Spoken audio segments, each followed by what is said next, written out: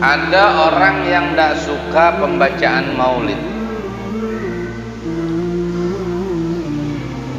Jadi ya memang kita memiliki banyak pendapat. Ada orang yang tidak suka pembacaan maulid lalu kita tidak suka dengan orang tadi. Ini bukan ajaran Nabi Shallallahu Alaihi Wasallam. Lah kita orang tersebut tidak suka pembacaan maulid ya kita tidak boleh juga tidak suka dengan dia karena Nabi tidak pernah mengajarkan kita untuk tidak suka kepada sesama muslim. Orang ini muslim muslim tetapi dia tidak suka dengan pembacaan maulid. Itu urusan dia dengan baginda Rasul Shallallahu Alaihi Wasallam. Kira-kira hal yang paling kita sukai seharusnya di dunia ini adalah Nabi Shallallahu Alaihi Wasallam. Kenapa? Di dalam riwayat disebutkan ketika di padang mahsyar, ketika setiap manusia berkumpul, setiap manusia menjadi satu padu di tempat yang namanya mahsyar tersebut, di antara kita lupa kepada orang tuanya. Orang tua lupa kepada anaknya. Kita tidak peduli dengan saudara kita, kita tidak peduli dengan ayah kita kita tidak peduli dengan ibu kita bahkan sebaliknya kita tidak peduli dengan anak kita dan keluarga kita tetapi cuma satu makhluk yang peduli dengan kita Nabi Shallallahu Alaihi Wasallam. Dia lebih peduli daripada ibu kita. Dia lebih kasih sayang daripada ayah dan ibu kita. Itu Nabi Muhammad Shallallahu Alaihi Wasallam.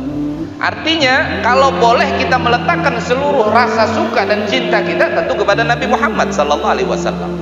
Kalau boleh kita menunjukkan seluruh rasa mahabbah kita rasa cinta kita rasa kekaguman kita kepada Nabi Muhammad sallallahu alaihi wasallam karir dzikra wasfi Muhammadin kaimatusiha anil qulubir rana kita ini bukan orang yang Allah anugerahi cinta seketika tetapi kita bisa berusaha menghadirkan itu dengan sering menceritakan tentang Nabi Muhammad kita bercerita kemuliaan agung Nabi Muhammad, pengorbanan beliau, akhlak beliau supaya apa? Supaya tertumbuh di dalam hati kita, tertanam di dalam sanubari kita cinta kepada baginda Rasul.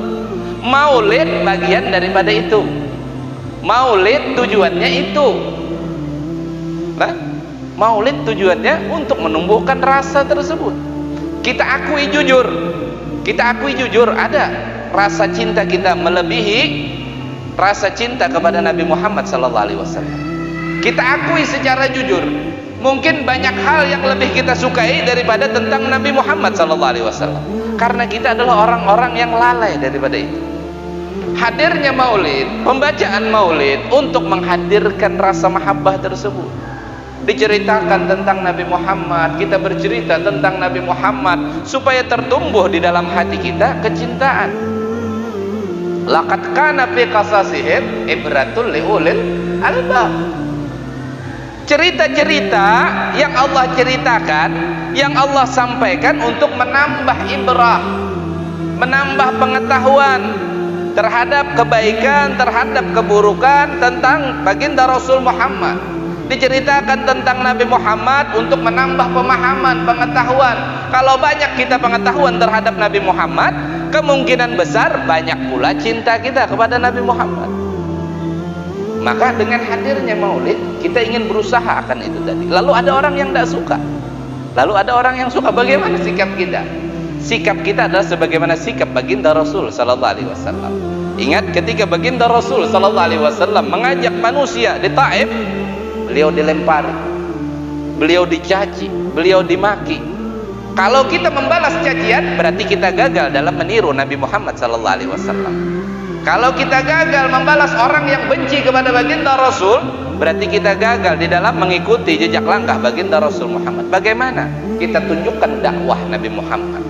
Kita sayangi mereka, kita sampaikan dengan lemah lembut. Ini cara kita, terserah mereka tidak suka, itu cara mereka. Ini kita punya dalil, itu mereka punya dalil. Caci maki tidak akan menyelesaikan masalah. Kita berdebat tidak akan menyelesaikan apa yang diperdebatkan. Cuman dua hal yang akan. Satu kekaguman dengan keilmuan dalam perdebatan. Yang kedua tersimpan di dalam hati perdendaman karena kalah berdebatan jadi kalau kita berdebat masalah maulid sampai kapan kita akan berdebat? Kerjakan. Kita tunjukkan akhlak Nabi Muhammad oh ini orang-orang yang suka maulid akhlaknya seperti baginda Rasul. Mana dalilnya maulid? Guru-guru kita seperti ini para habaib kita seperti itu.